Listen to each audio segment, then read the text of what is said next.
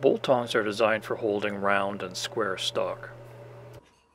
They're great for working with curved bars because the large opening in the jaw allows you to grab the curve anywhere along its length. They may look complicated, but they're really just a simple variation on the flat bit tongs. You do have to be a little more careful when you're forging in the offsets because you're not going to be able to just trim off the ends if they wind up being different lengths like you can with flat bit tongs. The ruler that I have clamped to my anvil is essential for making bolt tongs. It's just made from a short length of flat bar and this one happens to be marked off in inches but if you wanted to you could make one for a specific job that has just the measurements that you would need for that piece. These tongs are pretty straightforward. If you get the first offset to line up everything else seems to fall into place so you don't need to do a lot of measuring.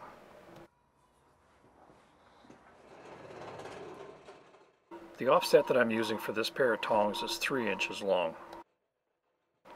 I define the offset at the corner of the anvil that's right next to the ruler. That way I can keep an eye on whether the piece is drifting out of position or not. And then I'll move over to a corner of the anvil that has a bigger radius. I'm hammering down the flat section that's going to be used for the curved part of the bit.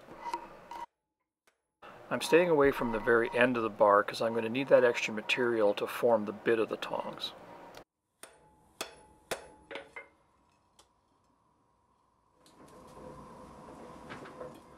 To forge the next offset, I rotate the bar counterclockwise 90 degrees and I forge the second offset that's going to define the hinge area for the tongs. This section is forged out exactly the same way that I did for the flat bit tongs.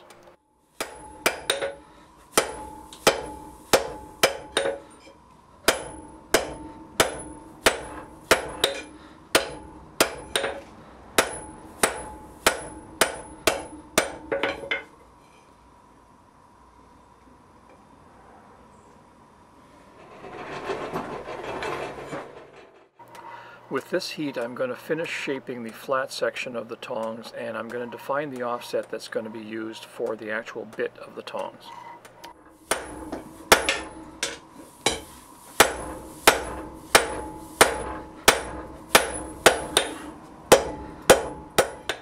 If you're new to making tongs, I would take the time to use the ruler at the anvil to take note of where the offsets are lining up.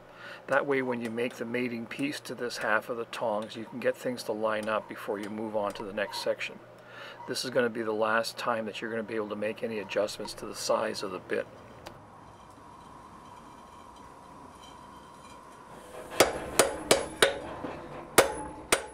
Now I'm forging the bend that's going to define where the curve is going to start.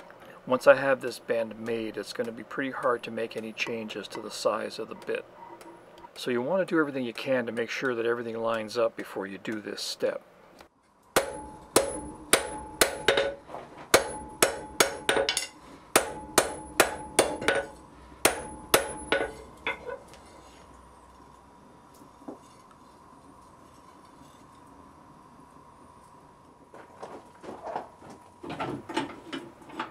I use a bender to roughly shape the curved portion of the bit.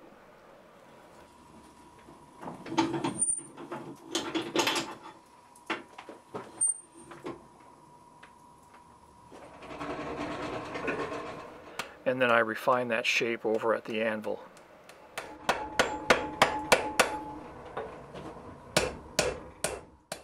And then I forge a 90 degree bend at the offset for the bit.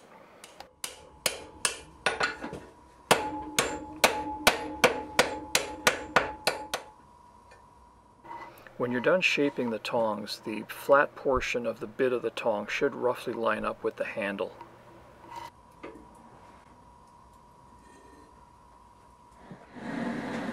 Once again I use the arbor press to do the preliminary shaping on the jaws.